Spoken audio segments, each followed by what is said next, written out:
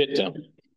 Uh, you know that the science panel is uh, advisory board, and so we work only uh, by on request, but to organize meetings. In the past GGOS days in Spain, Kosuke Heki presented the history of the session organized in big meetings, in large meetings, by the for GGOS that are uh, they must be general sessions. So I focus only on the session organized in this term in the that was the EGU since the past GGOS days. AGU 2023 whole meeting in, in San Francisco then the EGU 2024 that was led by the former uh, chair of the science panel, Kosuke. And then there are two forthcoming sessions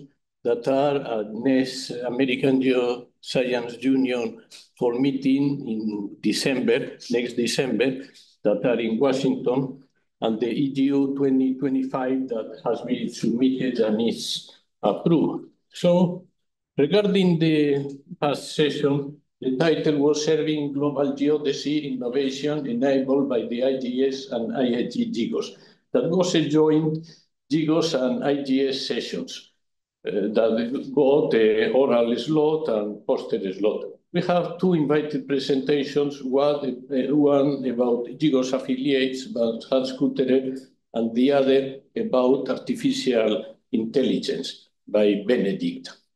Usually we have to merge in the December the session of, uh, of GGOS with other sessions. It has been a rotation, in this case IGS, of other components or topics of interest of GGOS. In that session, it's, uh, there was a very successful social media campaign that was prepared by Alison, was posted uh, the IIGS and GGOS uh, sites, and there was nice uh, adverts like those, an, example. And so it was a very good idea, I think. Uh, Alison, I don't know if she was the promoter, but she made the campaign successful. And the EGU 24 is this year, but it was organized also by Kosuke, and there really there was two GGOS sessions. The first one is the general session that is the responsibility of the panel, and the second one was about VLBI. So it's a specific session not organized by the science panel or by the executive committee. And they had to merge. The first one was quite successful because in Europe we have a higher attendance for GGOS sessions than in, in United States. They merged, as is usually, and the result was Global Geodetic Observing System, the reference for Earth system monitoring, featuring VLBI component. So they got uh, the oral slot with 10 uh, presentation, 15 posters, three of them online, and one invite presentation by Henryk Dobslaw about the modeling prediction of uh, geophysical fluids, uh, angular momentum data, and so on. That was very important for the prediction comparison campaign of EOP.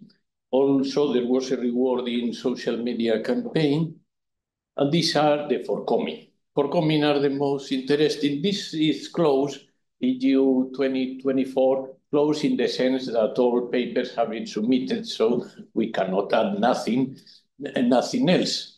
Uh, we have conveners, two from Europe, uh, two from the United States, uh, one from China. So we are not 3G, but is not required. And also one early carrier. So, so we are advancing. We got uh, first round 9%, the 26 abstracts with 9 presentation in direct oral slot. Um, and the posters that are Friday and Thursday. Uh, probably Friday is not the best day for attendance because some people leave on Friday and it's afternoon. So, but at least uh, I guess the speaker will be there. And the program was uh, announced uh, in time. So, so at that uh, session, there was a lot of highlighted topics. It was uh, standards, fundamental constant, model from ties, potential, a rotation. There was no session of a rotation. And also uh, geodetic techniques. VLBI, uh, GNSS, of course, have several sessions uh, gravimetry has sessions, but other techniques don't have uh, so many sessions. So I included this, uh, all the techniques and all many of the actions of GGOS related to in, improvement of infrastructure, RFI protection.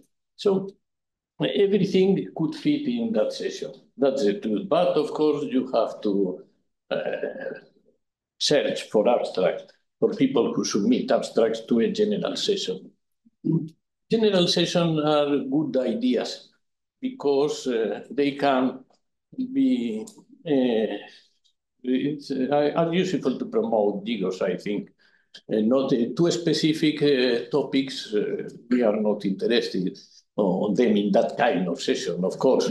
We have two invited presentation, rotation standards, and the other related with uh, artificial intelligence by Benedict so so Soja, the first one by Alberto Escapa, that is currently president of IAU Commission A2 on net rotation. So at the same time, apart is, it was uh, my former student many years ago.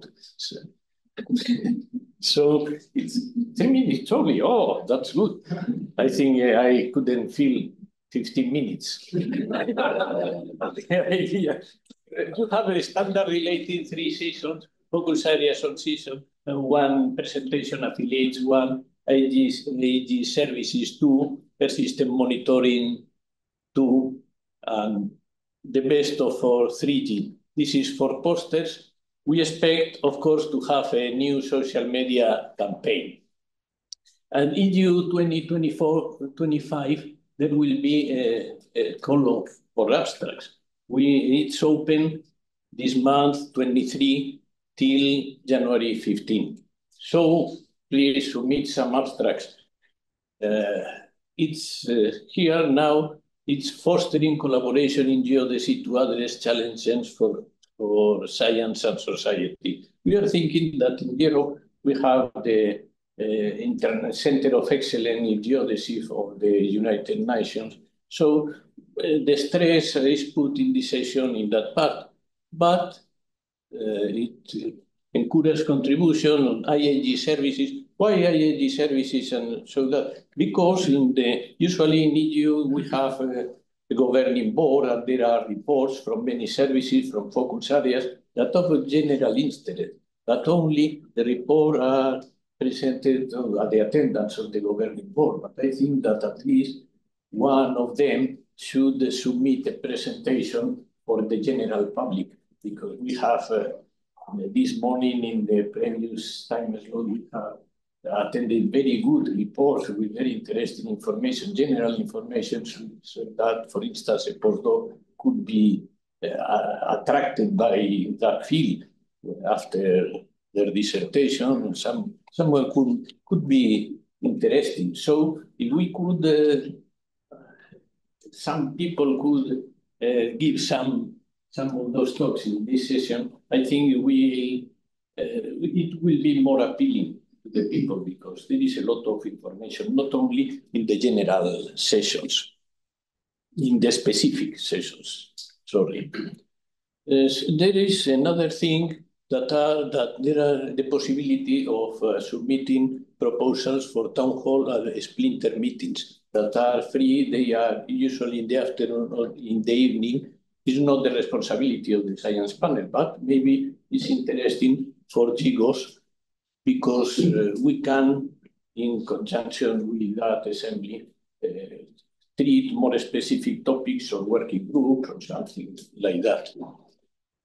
So, um, please don't forget to submit something and to, to reinforce the activity of that it's worth it.